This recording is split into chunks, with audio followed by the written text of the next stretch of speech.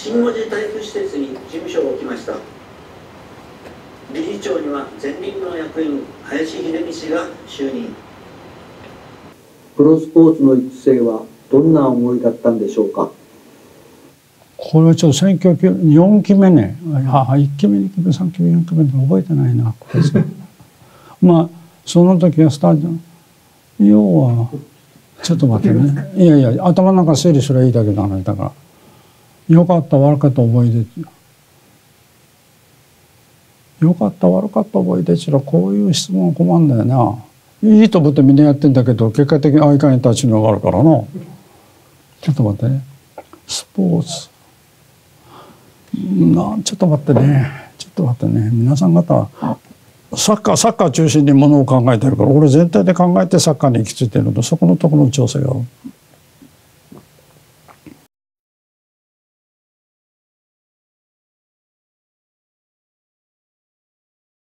八幡製鉄所もサッカーチーム持ってたしな。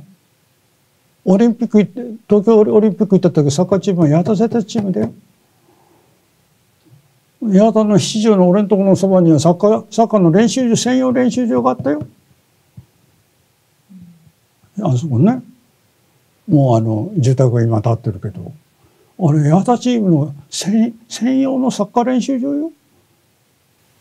まあ、それがですね、うん、その八幡チームを市がもらい受けて市のチームにしようというふうに計画してたんですけど、うん、あの八幡の方がそのチームを配布してしまったもんですから、うん、それは知らん、はい、うん、で同じあの三菱化学黒崎というチームをもらい受けてニューウェーブというチームを市のチームにしたんですああそうね。あそれは知らんだああ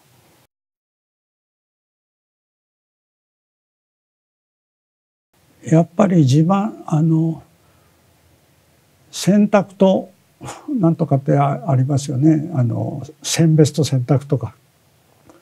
やっぱ時代時代の流れもあるしだから従って一般的な50周年事業やりますね。20周年とか25周年。毎年それから毎年やるのもあった。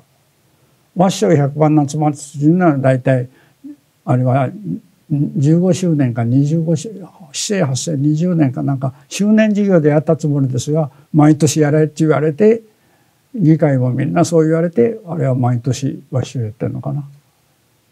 それはもう議会いわゆる市民全体の合意をどう得ていくかというのが一番辛いところ。いっぺんやったらやってくださいっていうよりもやっぱりそれで北九州の歴史がありますからね5区が一周になったんですから5つの区をどうやってやっていくかというテがある。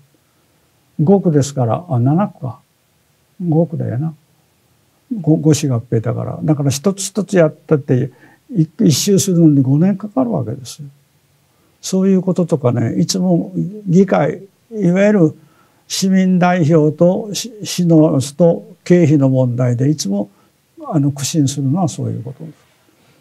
まあこれは行政ですから市長以下の責任者と議会が話をすればいいわけですからそういうことがあります。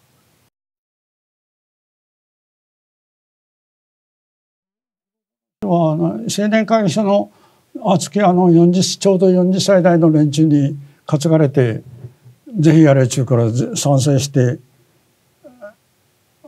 その一員で走り回っただけでギラバンツのねなぜギラバンツをまあ、みんな市民が望んだか行政もやったかそれ言われてまあ行政やれてとにかく北九州はね行政やれっちやつやつやつばっかりなんですよ。自分たち応援するからお前やってくれっちやつばっかりなんですよ。それはねやっぱり八幡製鉄のおかげですよ。製鉄やってくれやらなきゃ市がやってくれし製鉄市がやったらうちはいいけどそのうち他がやらなくなったら何もやらなくなったのが今でしょ。だから誰かやってくれたんだから自分たちでやろうっていう気がないのがいかんどうですかっていうのが俺の意見なんです。ギラバンツで苦労した一番点ちゅうのはねそういうのをとにかくみんな作れとかねやれっちゅうことはみんな熱心でそこまで行くんですよ。できた後どうやって維持しますかって言ったらみんな役所がやれっちゅうんですよ。そこが行政が辛いんですよ。そうでしょ？村山祭りからなんかあるその全部で市の行政として位置づけてやるっていうより行事だから、ね、これはみんなね25周年記念とかなんとか記念がついてくるんです。記念ついたやつを今後今後行政としてどうしますかっていうところになるとねそこが維持するのがね公費かかるでしょ？誰が負担しますかっていうのは常に出てくるんです。みんな賛成とは限らないからね。ここが行政の辛いとこ。だから30周年記念100年記念なんとかで記念の時になるとまあまあそれはそうだよねっていうことになるけど皆さんやったらもうあとは市がやってくれちゅう人が圧倒的に多いわけです。ここのところの部分が行政として一番苦しみます。誰も反対する人ない事業だから。しかし全体のね税金の使い方としてはやっぱりどうとしようかという話になるから記念事業ということに位置づけてやるのが行政なんです。100年とか200年とか言うならいいけど毎年やるのかという話とかになるとねそれが一番きついところ。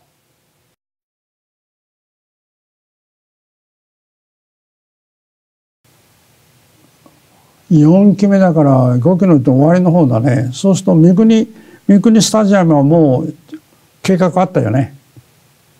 計画あったあったよな。もういやいやいやだから4期目の時だからもうできてたかもしらんね。実行に移ってたかもしらんね。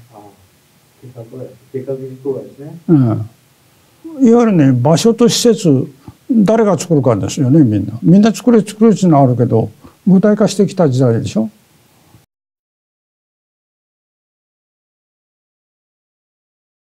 一番苦労したという点から言いますとね場所をどっかするからですよ。サッカー場どこに作るからです。そうでしょ？みんなやるとか市が作れちゅうわけでしょ？場所をどうすることと場所の決めるところね。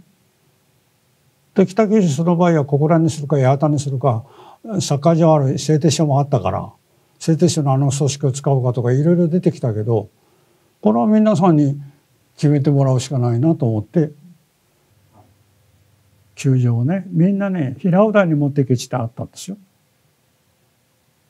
サッカー場いやいわゆる郊外にね採算乗る？だから理想はいいよ。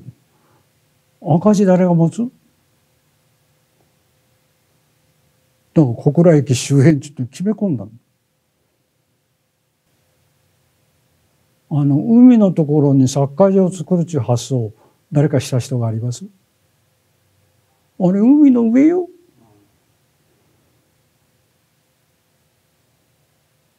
もうそれだけ言ってくれる。俺はそれだけで十分作りゃ死が赤字になったら持たないかんでしょ？海の埋め立てね。小倉駅周辺じゃないか人が集まらんでしょ。俺はそれとそれあの建設の海のところにねあの海埋め立ては市が認めりゃいいんだから。これでいけると思ったら行くわけです。こっちが言わんでもこっちの能力のあっちの能力数十倍上だから任せるただ海の権利なんていうのはね公が金合わんと使えないから。だから指導共同でやるんです。それは知恵はこっちです。ただそれで小倉駅前しかも小倉駅前って一番絶好の絶好の地に運営してるんですよ。あの事業を温かく応援してやっていただくこと事業がスポーツ文化の民営化の先端を走ると思いますね。だからみんなプロ野球でも新しくチーム呼んでこようとした時に新しいチームを作ろうという動きがあるでしょ。まあ、成功するかどうかはねそういうトライのところでね場所が一番必要なんですよ。ね、大きいみんなね大きな土地にあればいいっていう人もあるけど北九州の場合では小倉駅前っていうのが一番人が集まりやすいところでしょそこの水の上であの事業をやってんですよ。この成功が民間スポーツの事業のね先行を走ると僕は思ってます。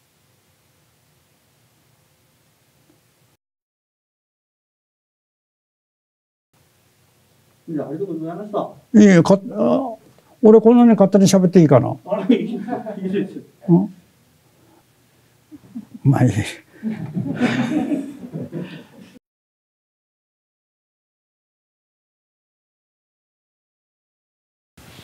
リーダーになった記憶はないんだけどさせられた記憶は